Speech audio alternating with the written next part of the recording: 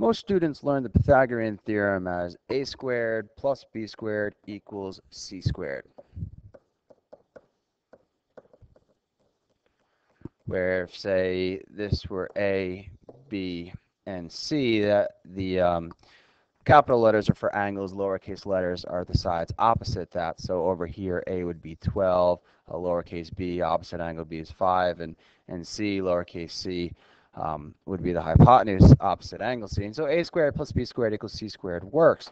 But the reason why I'm not a fan of a squared plus b squared equals c squared is because a lot of times uh, Regents exams, state exams, throw in a little trick where they'll say a, b, and c, where, yeah, lowercase a is, is still a side that's 12 and that's a, a leg, but lowercase b is not a leg. Lowercase b is the hypotenuse because angle b is the right angle.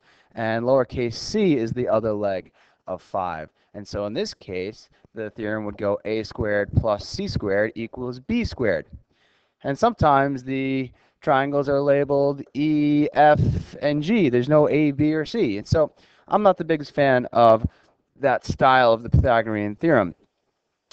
The way I prefer to teach students the Pythagorean theorem is leg squared plus the other leg squared equals the hypotenuse squared. So no matter how your triangle is labeled, or even if it doesn't have letters, like in these examples, you know which is which and where it goes. Now the triangle's got three sides. The longest side is the hypotenuse. And that is also opposite the 90 degree angle, which we have marked with our, our little box here. The other two sides are called legs. And so your Pythagorean theorem is the two legs squared, so 5 squared plus 12 squared equal to the hypotenuse. In this case, we don't know the hypotenuse, so it's x squared. 5 squared is 25, 12 squared is 144, x squared stays x squared. 25 plus 144 is 169 equals x squared. Square root of both sides, and we get the missing side, or the hypotenuse in this case, is a length of 13. The problem to the right is similar, except x, the missing side, is not the hypotenuse. This time the missing side is a leg. So it's the leg squared plus the other leg squared equal to the hypotenuse squared. I mean, the key is that it's always equal to the hypotenuse.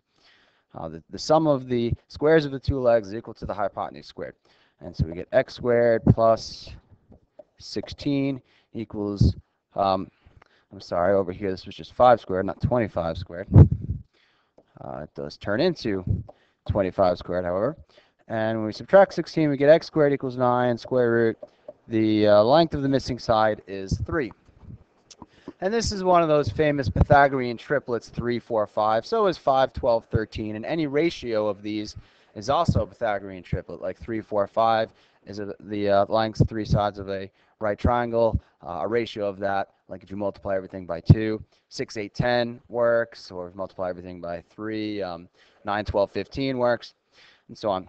Last example I want to do on the bottom just shows that sometimes these sides are, are radicals. And that's no big deal. We still see we have two legs. Here are 1 squared and rad 3 squared. And it's a good idea to always put things in parentheses when you're going to square it, especially negative numbers, because negative numbers square to positive. and sometimes if we don't put it in parentheses, we forget that. Um, equal to, uh, we're missing the hypotenuse, so x squared. Now 1 squared, 1 times 1 is 1. Radical 3 squared.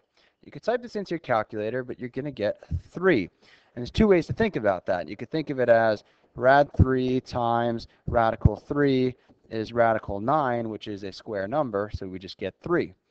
Or you could also kind of get the concept that we're doing the square root of a number and then we're squaring it.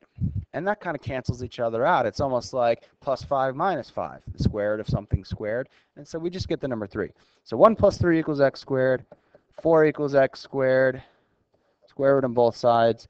The length of our hypotenuse, the missing side, is 2 units.